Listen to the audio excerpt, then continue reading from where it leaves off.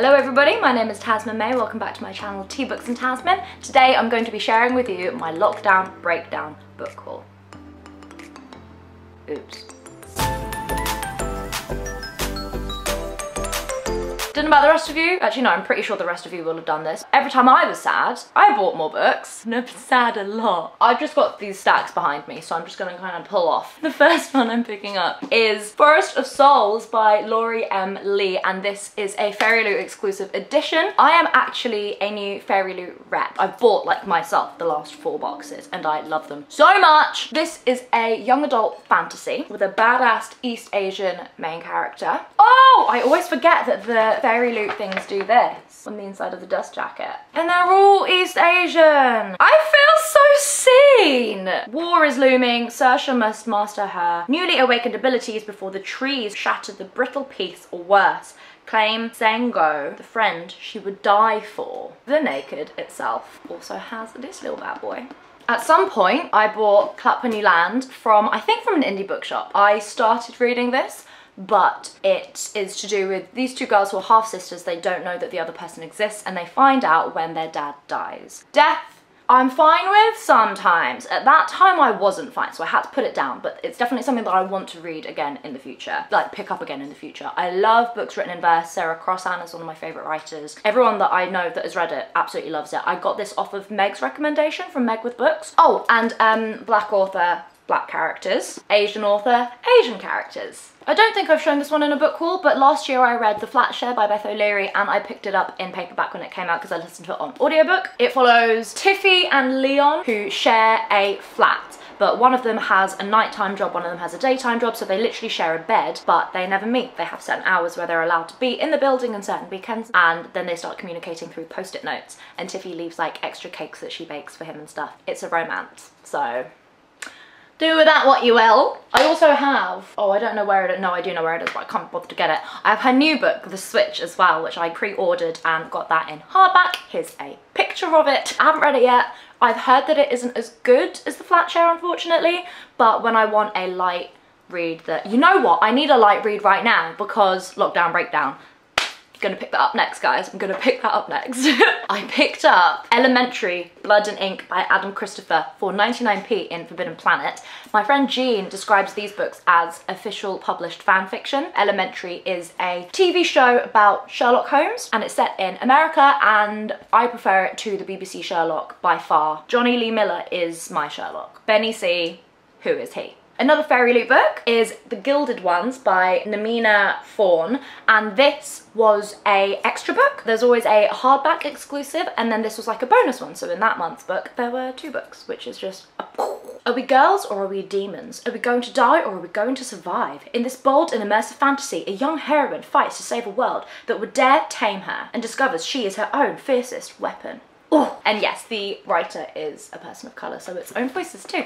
Molly, this bit's for you. I got sent by HQ This Lovely City by Louise Hare. So this is set post Second World War in London and it follows a black man who is a, he has a day job but then at night time He's a jazz musician. Fucking yes. My dad is a jazz musician as well, so wanted to pick it up. So thank you so much HQ for sending it to me. I think I mentioned this in a book haul when I was talking about ones that I ordered at the beginning of lockdown, but I had them sent to my parents' house because I'm a genius. And this is Crier's War by Nina Varela. This is my September-October pick for my Patreon book club. So check the link in my bio if you want to join us for that. Again, a young adult fantasy in a world where the automaton, oh no, autome, like robot people, that were created to be slaves and servants to the human people, have risen up and taken over. So we follow two characters, the head of a household who is an autome, a girl, and a human girl who is a servant in that house. And her father was killed by the father of the autome girl. And so to avenge her father's death, she's going to kill the autome girl. And then I assume they like meet and become bezies and lovers and stuff because it has a female-female romance, a female-female romance. I don't know if the characters in this are East Asian inspired or not, but the author is East Asian and she is also queer, so its own voices in the female-female romance respect. The next book is On Chapel Sands by Laura Cumming. This is a memoir of Laura Cumming as she's writing about her mother who was abducted when she was a little girl. I think she went missing for something like 10 days. She had no memory. She just showed up back home one day. The police had no clue what had happened. So it's kind of like a mystery, but of her finding out the truth what happened to her mum.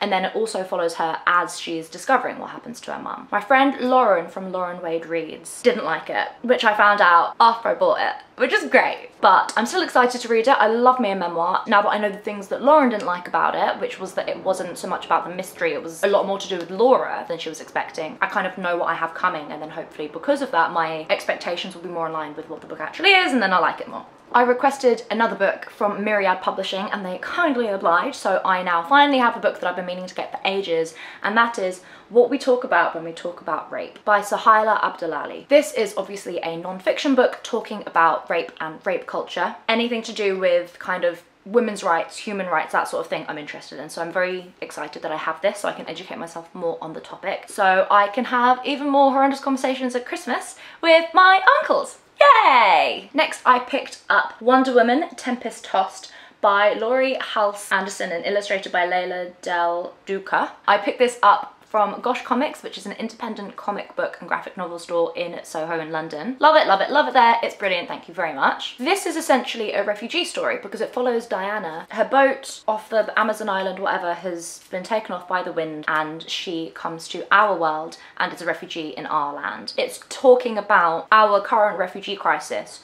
through the story of Wonder Woman and the Amazons. Speaking of the Amazons, I picked up the Amazons by Adrienne Mayor, Lives and Legends of Warrior Women Across the Ancient World. I saw this in Waterstones by Trafalgar Square and there was another book on the Amazons and the first Amazon book that I picked up had not so good reviews. Someone recommended in one of the reviews saying don't bother reading this, read this one instead and they had it so I was like okay cool thank you very much. Combining classical myth and art, nomad traditions and scientific archaeology, The Amazons is the first comprehensive account of warrior women both in myth and history across the ancient world from the Mediterranean Sea to the Great Wall of China. Someone say China! I'm even more interested. Yay. Speaking of China, my lovely friend Ilya sent me Before the Sword by Grace Lin, which is a Mulan story. She sent me this about the beginning of lockdown when I was feeling uber uber depressed because of course my trip back to China to see my family was cancelled and I was just crying all the time because I missed them. So she sent me this. I think it's a retelling of one of the original Mulan stories. I've got the little note from Ilya. It says, Hey Tazzy with a love heart. You said you were missing China and I know you love Mulan so I thought I'd get this this one for you. I hope it might take you back home through the pages and cheer you up a bit. I love you, another love heart from Ilya. I miss you, you're my best friend, why so far away that's rude. A few more Fairy Loot ones now. This is Bone Crier's Moon by Kathryn Purdie, not Bone Crier's War, because Crier's War is a different book. This is stunning. This came in my first ever Fairy Loot box and I opened it up and every single thing in that box was something that I loved. I loved all of it. Look at the exclusive artwork. Ah, oh, Fairy Loot exclusive editions are always signed by the author and they come with a letter from the author as well. And of course, uh, I had a rule with myself with Fairy Loot that I'd only let myself continue to get Fairy Loot if I read the books and I didn't. I had four Fairy Loot boxes and I was like, okay, I need to cancel my subscription now because I'm being an idiot. And then I was asked to be a rep. I mean, that makes it fine, right? the next Fairy Loot exclusive edition is Girl Serpent Thorn by Melissa Bashardoust. This is again an exclusive edition with pretty pretty things and the letter and it's sprayed green on the edge and it's like oh no this one's not glittery Bone Crier's Moon was glittery Jesus I mean Oh, Ames, wait, come be in the video before you leave. Ames is one of my patrons. That's actually how we met. And Ames has come to England for a week and I was like, come stay with me. Who needs a hotel when you have friends? This book was getting a lot of hype on Bookstagram, and that is The Southern Book Club's Guide to Slaying Vampires by Grady Hendrix, who also wrote My Best Friend's Exorcism. It's set in Charlestown. It's like a southern state in the United States, and there's a group of women who have a book club. It's one of those close-knit towns where like everyone knows everyone, and a man moves in and they are convinced he's a vampire, or they find out he actually is a vampire, and they try to slay him with the book club.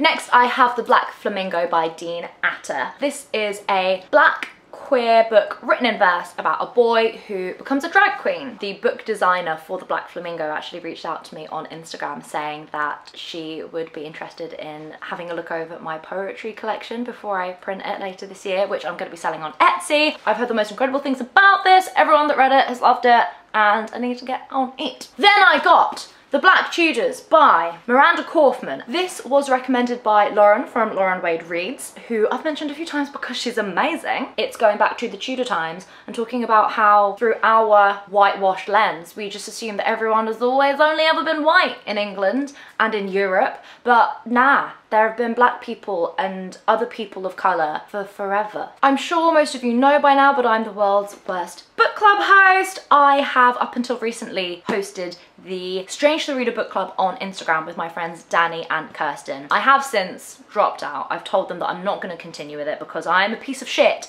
and we've been hosting it for about a year and I haven't read a single book. If they do choose to continue the book club, I will keep promoting it on social media and stuff, but I'm just not taking part in it myself. That being said, one of the books that I picked up with the intention of reading was The Rage of Dragons by Evan Winter. It was originally self-published, which was really cool. There are quite a few fantasy and sci-fi books that were self-published or like released online and got such a cult following that they then got picked up by publishing houses. So Love that for him. Love that for him. Next up was another book from my best friend Molly Woo. She actually bought me these earrings as well. And she picked up for me The Song of Achilles by Madeline Miller in the beautiful Virago, no, not Virago, Bloomsbury Modern Classics edition from Hatchards. I was reading Circe at the time. Have I finished it? We don't need to talk about that. And she knew that I wanted this in this edition and she bought it for me. I love you. I don't know specifically what it's about other than the Trojan War and apparently it's gay as well so woo! Next up is The Furies by Katie Lowe. I got a signed hardback edition for half price in Forbidden Planet.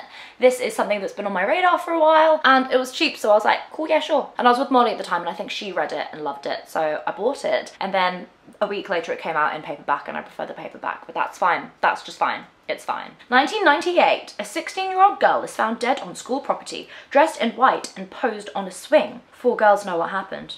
They've kept their silence. Until now. Next up is Such a Fun Age by Kiley Reid. I bought this at the beginning of lockdown from an independent bookshop. It follows a young black lady who is babysitting a white kid and they're in the supermarket and either security or the police are called or something and they think that because she's a black woman with a white child that she's abducted the kid. What's really interesting is that I wouldn't have guessed that from the cover. It looks like a really light-hearted, fluffy kind of like women's lit thing, but it deals with like intense racism. I have The Dark Descent of Elizabeth Frankenstein by Kiersten White. I haven't read anything by her. I'm obsessed with Frankenstein. I love me some Mary Shelley. So I got this. Unfortunately, after I bought this, I saw Jesse the Reader's review and he didn't like it. So that's great for me. Yay. I picked this next book up because the sequel to it has just come out and I keep on seeing the cover everywhere and it's the most beautiful thing in the world. The first book in the series is The Witchwood Crown by Tad Williams. What I didn't realise until later is that this is actually a either prequel or a sequel series to an already famous fantasy trilogy. But instead of going back to the old ones, I figured I'd start with the new ones because sometimes the old ones can be a little bit sexist. Big chonky boy epic fantasy with a pretty cover, so yay. Next I got The Greek Myths, the complete and definitive edition by Robert Graves. How complete and definitive? We'll find out. I love Greek myth things, but I wanted a big book with lots of the things and lots of the words. So here we go, Robert Graves is infamous for Greek things, so whoop whoop. Molly gave me these next two. She was having a clear out, so I asked for So Lucky by Dawn Porter and Deeds Not Words, The Story of Women's Rights Then and Now by Helen Pankhurst, who is the granddaughter of Emmeline Pankhurst, I believe. I hadn't heard of this one at all. Molly was just like, I think you'll like it. It's about women's rights and I was like cool thank you. And I got this for a cousin for Christmas. Don't remember what it's about at all but she said it was really really good. So I asked for it from Molly. So cool thanks. I went back home home for the first time a while ago and we went to my childhood Waterstones so I picked up Leaves of Grass the first 1855 edition by Walt Whitman. This was referenced a lot in a play that I really really liked. I've been meaning to get it since then so I own that now I got North and South by Elizabeth Gaskell in the Penguin English Library Classics edition, which is my favourite edition of classics. I was watching the BBC version of the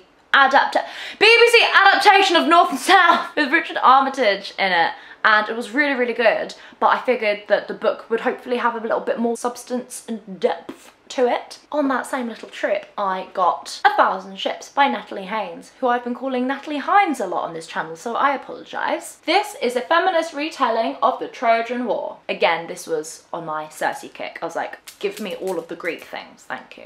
This is A Woman of No Importance, the untold story of Virginia Hall, World War II's most dangerous spy by Sonia Purnell. I love me a non-fiction, I love me some history, I love some spy espionage stuff. I've only ever watched kind of espionage shows and films, which I do enjoy, but as this is non-fiction, I figured I'll give it a go. Also, it was on offer which always helps. Next, I got Read with Pride, which is book two in the Paper and Heart Society by my lovely friend Lucy Powrie. It's for like maybe like pre-teens and like the beginning of teenage years. This is about a girl who discovers that there are some LGBTQ plus books that are banned in her school library and she is like, nah bitch. And then the book begins.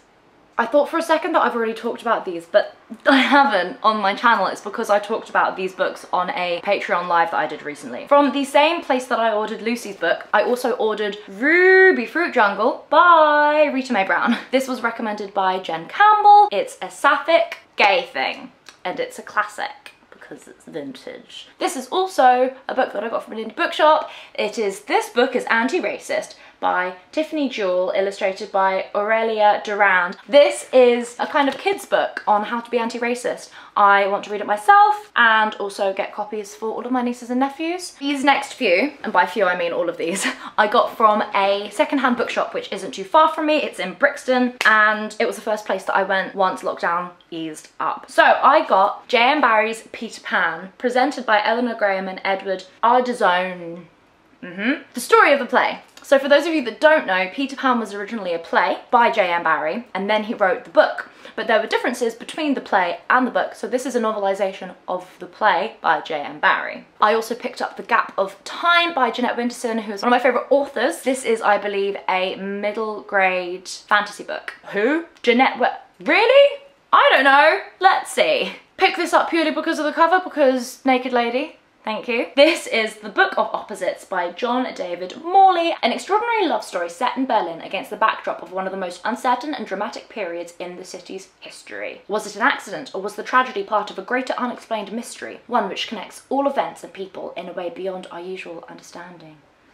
I love books that are kind of mindfucky about like, are we all connected? Is there fate? Is destiny a thing? I feel like this is gonna be that. The next few are mass market paperback fantasies, which I always love. This one I realized when I talked about it on the live that it might actually be a sequel, which is great for me. I need to stop doing that. That's Molly's influence. Every time I do a peace sign, slap Molly. this is The Chessboard Queen by Sharan Newman and it is a Arthurian legend retelling but I think it might be the second book because also by Sarah Newman, Guinevere and this follows Guinevere. But I don't know if they're companions because it doesn't say that it's a sequel to Guinevere. I don't know. In The Chessboard Queen, Guinevere, Arthur's beautiful young consort, discovers to her dismay, for she loves Arthur, a passionate attraction to Lancelot, the shining white knight, beloved by King and Camelot. And so, as earthly passion and spiritual love are woven together in a spellbinding and totally charming new version of Arthurian legend, of the Arthur legend emergent. Yes, cool. It was in the fantasy section. I assume it's fantasy. Yay. Then I picked up Golden Witchbreed by Mary Gentle. What are you about? I don't know. Apparently it's a brilliant and rich world of fantasy. I like the cover and I picked it up. This is Hidden Turnings, a fantasy anthology of short stories edited by Diana Wynne Jones and the writers in it are Terry Pratchett, Geraldine Harris, Douglas Hill, Tanith Lee, Helen Cresswell, Robert Westall, Lisa Tuttle, Garry Kilworth, Roger Zelazny, Mary Rayner, Emma Bull and Diana Wynne Jones. These two I got in Waterstones in the clearance bit. First one is Clean by Juno Dawson. I think it might have just been one pound. It was either one or three pounds just because there was like, there's a tear on the back and honestly that doesn't faze me at all. I wanted to pick this up because Sabine loves this book and I was like, cool. It's about drug addiction in young people. It's a young adult contemporary. Then I picked up Anne of Green Gables in the beautiful Puffin in Bloom edition. It's by L.M. Montgomery. It was also discounted because of like, there are some pages that are creased at the top. And again, I'm pretty sure I got this beautiful thing for three pounds. Next, I got The Wizard of Oz and The Emerald City of Oz and Glinda of Oz by L. Frank Baum in the Penguin Threads edition. this is, I think, the first three books in the World of Oz series. And guess why I picked this up, guys? Because it's this month's pick for the Strange the Reader book club. I hate myself. I hate myself! Next I picked up for some reason, oh no, I know why.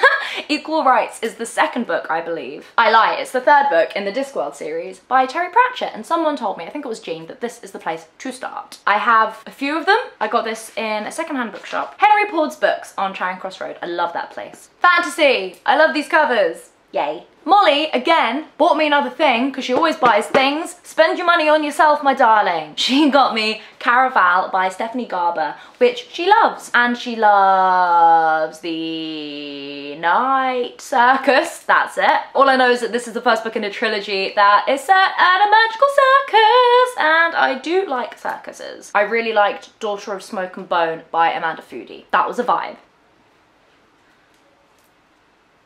Oh, horrible. If you get the reference, comment down below. I actually bought this ages ago, but I don't think I've mentioned it in a video, and that is Dracul by J.D. Barker and Dacre Stoker, who I think might be a descendant of V. Stoker. This was one of those points where I was like, I'm sad and I just need to buy anything. So I don't know when I'm gonna pick this up, but I'm interested. I bought Dracula in the Penguin English Library Classics edition at some point. I want to read more Gothic literature, like classic Gothic literature. So this is Here in My Life as well. Next book is another Fairy Loot edition, and that is Incendiary by Zoraida Cordova. Pretty pretty, pretty pretty, and pretty pretty. Don't know anything about this, but as it's Fairy Loot, it's obviously a young adult fantasy. Then I think when I was at Henry Pordes when I picked up the Terry Pratchett, I also picked up Ordeal by Innocence by Agatha Christie. Now, I've been meaning to read some Christie for a while, and I really like these old school editions. It has a scary snacky snack. Oh my god, it's a snack a snack. Snack a snack. Snack a snack, you there, snack a snack.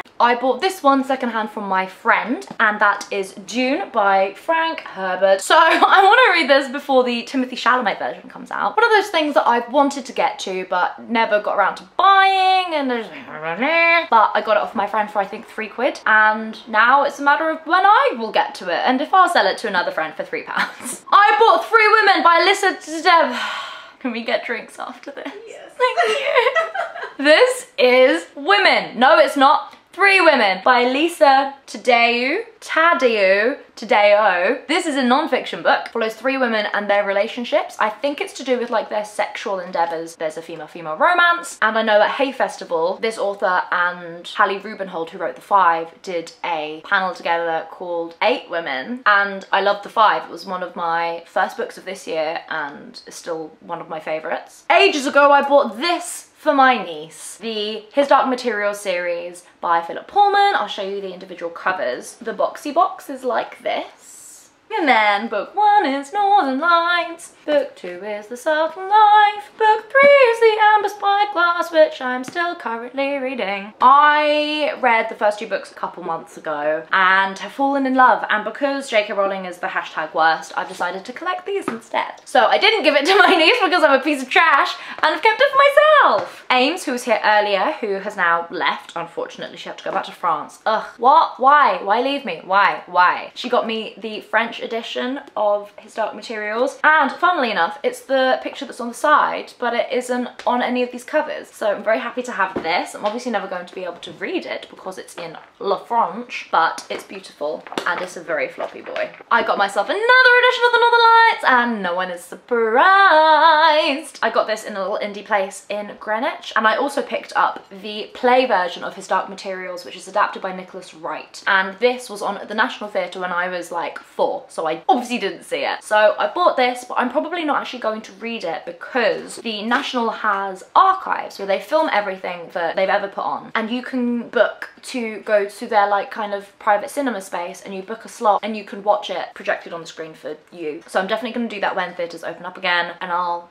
get to see it on a screen. Okay, final few. I got The Book of Dust, which is the second book. No, The Book of Dust is the name of the trilogy and The Secret Commonwealth is the name of the book. This follows Lyra as an adult. So book one, which is La Belle Sauvage, is pre His Dark Materials. This is post His Dark Materials. And then book three is going to be post this. But like I said, I'm still reading the Amber Spyglass. That one's putting me in a slumpy boy, which I'm not happy about. Not enjoying that one nearly as much as I did the Northern Lights. I like The Subtle Knife a little bit less than Northern Lights, but I still enjoyed it. Amber Spyglass just isn't doing it for me, but I've heard the most incredible things about this trilogy, so I am going to persevere. These aren't new at all, but as I'm talking about the series and they're right next to me, I have these little novellas that are set in the same world. This one follows Lee Scoresby and Iorek Byrnison and how they met, and then Lyra's Oxford follows Lyra. Okay, this is two years after the conclusion of the Amber Spyglass. And finally, the most important book of the year unintentionally at the bottom of this pile, so perfectly, perfectly laid out. Greek Myths by the love of my life, Jean. Written by Jean Menzies, illustrated by Katie Ponder, who is also an absolute gem. Follow them on all of the things. I'll leave the things down there. It's published by DK. It's a children's encyclopedia of the Greek myths. Jean is doing a PhD in Greek mythology. She is a scholar. She is a badass. She is the love of my life and I would die for her. She's just the best thing since like sliced bread. What was the best thing before sliced bread? Because she's better than that too. She's better than sliced bread. Sliced bread isn't even that great. Who came up with that saying? This is amazing. The illustrations are incredible. Katie Ponder has been phenomenal. She has done an amazing amazing job with this. And of course, in the least biased way possible, the words are beautiful as well. It's so educational and also funny and it's age appropriate too. Because of course, a lot of ancient Greek myths had a lot of rape and sexual assault and Jean has been very tactful in how that's dealt with. I've been buying this for everybody because everyone needs it and I hope all of you buy it because it's fucking incredible. And on that note, hmm, I'm gonna go get a cocktail on a bar on a boat. Oh my god, it's been stressful time, guys. It's been stressful time. I need the alcohols and on my face, please. Thank you, thank you, thank you. Thank you for watching this book haul. If you follow me on Instagram and Twitter, you'll know that I'm working on releasing a zine of my poetry in November. I'm just, I'm just good. Like, life's a bit stressful, but life's also good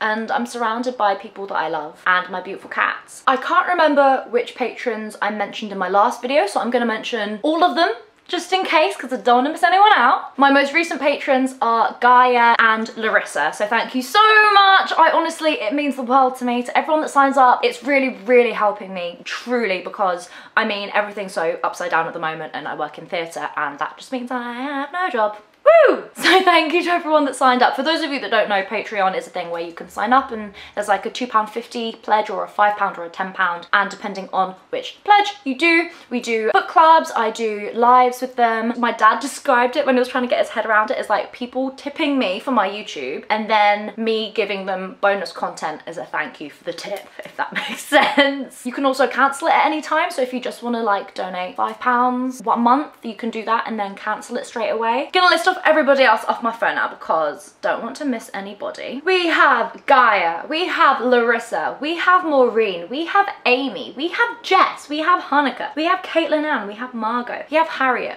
we have Sarah, we have Amy, we have Bronwyn, we have Anna, we have Lizzie, we have my mum, we have Anna Marie, and we have Ames who left half an hour ago and now I'm sad.